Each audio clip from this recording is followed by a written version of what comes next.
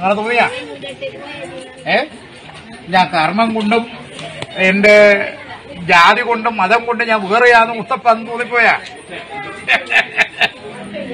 നിനക്ക് നിന്റെ ജീവിതത്തിൽ അങ്ങനെ തോന്നിയാലും എന്റെ മുന്നിൽ അങ്ങനെ പറയില്ല.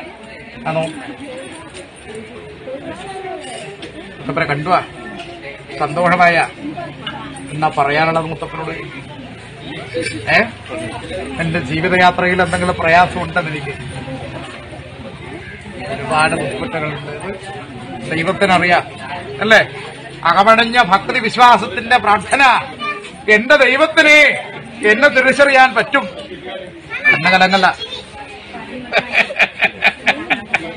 അടേ!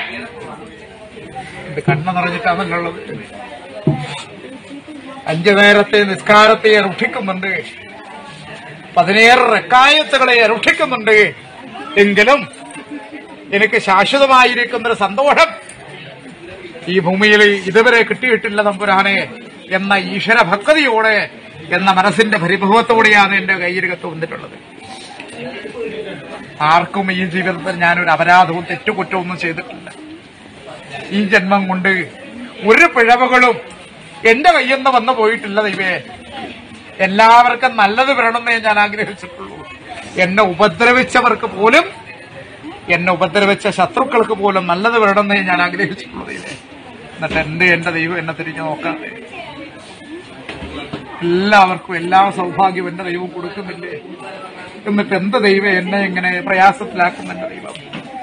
എന്റെ മക്കൾക്ക് എന്റെ കുടുംബത്തിന് എന്തുകൊണ്ട് എന്റെ ദൈവം തുണയായിട്ട് നിൽക്കുന്നില്ല? എന്നൊരു തോന്നൽ നിന്റെ ഉള്ളിലുണ്ട്. പരിഭവം നിറഞ്ഞ പരാതിയുമായിട്ടാണ് നീ വന്നതെങ്കിൽ കണ്ണു നിറയല്ല ഏ?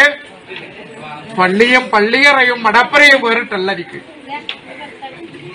ഞാൻ നിന്ന നാഥൻ തന്നെ. തമ്പുരാണി എന്നല്ലേ വിളിക്കുന്നു അല്ലേ? നബിയെന്നും മലയിൽ പാടുന്ന മഹാദേവൻ പൊന്മല പാടുന്ന മുത്തപ്പനെന്നും വെറുതെ നിങ്ങൾക്ക്